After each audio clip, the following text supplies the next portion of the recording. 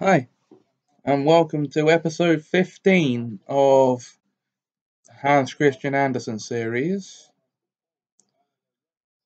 of Poseidon God of Water 20 story time. And it's now time for me to read The Darning Needle. There was once upon a time a darning needle which thought itself so fine that it imagined that it ought to be a sewing needle. Take care that you hold me tightly, said the darning needle to the fingers which took it up. Do not drop me, for if I fall on the ground, one will certainly not find me again. I am so fine. That's what you say, said the fingers, and seized her round the body. Look out! I am coming with a sweet, said the darning needle, and dragged a long thread after it. But there was no knot in the thread. The fingers directed the needle straight towards the cook's slipper. The upper leather was torn and had to be mended. That's degrading work, said the darning needle. I shall never get through it. I shall break. I shall break. And really it broke. Did I not tell you so? said the darning needle. I am too fine. Now it's good for nothing, said the fingers, but yet they had to hold it. The cook fixed a knob of sealing wax to the needle and fastened her neckerchief with it. So, now I am a scarf pin, said the needle. I knew very well that I should come to honour with when one is worthy one gets on in the world. And then it laughed to itself, but one never sees when a darning needle laughs. It sat there as proudly as if it was in a state carriage, and looked in all directions. May I ask if you are made of gold? it inquired of the other pin, its neighbour. You have a bright exterior and a head of your own. Although it is but small, you must endeavour to grow, for it is not every one who receives a knob of sealing wax. Thus saying, the darning needle raised itself so proudly that it fell out of the neckerchief, uh, of the neckerchief straight into the sink with which the cook was rinsing down. Now I am going on my travels, said the darning needle. I hope I shall not be lost. But it was lost indeed. I am too fine for this world, it said, when it was lying in the gutter. But I know who I am, and that is always a little pleasure, and the darning needle kept its proud bearing, and did not lose its cheerful temper. All sorts of things passed over it chips, straws, and bits of old newspaper. Look how they sail, said the darning needle. They do not know what is underneath them. I am sticking fast here. See, there is a see, there goes a chip, thinking of nothing in the world but itself. A chip!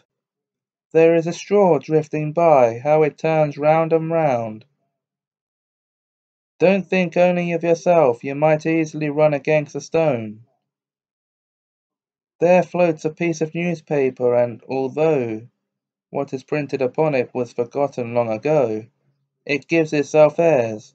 I am sitting here patiently and quietly.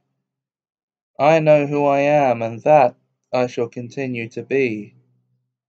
One day something lay by the side of it which glittered and so splendidly that the darning needle thought it was a diamond, but it was only a piece of broken glass bottle, and because it was so bright the darning needle spoke to it and introduced itself as a scarf pin. I suppose you are a diamond? Yes, something of that kind. And then they both thought each other something very precious. They spoke of the pride of the world. I have been in a girl's box, said the Darning Needle, and this girl was a cook.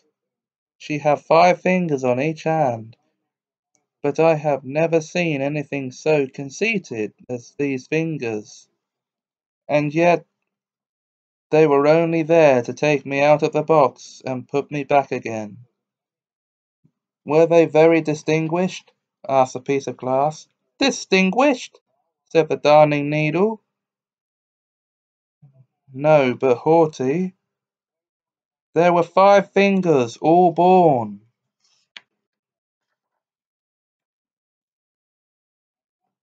Fingers.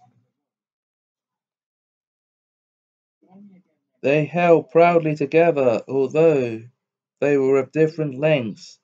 The first, the thumb, was short and thick. It stood out, it stood out of the rank and had only one joint in its back and could only make one bow, uh, one bow. But it said if it was cut off a man's hand, he could not be a soldier. Sweet Tooth, the second finger, was put into sweet and sour dishes, pointed to the sun and the moon.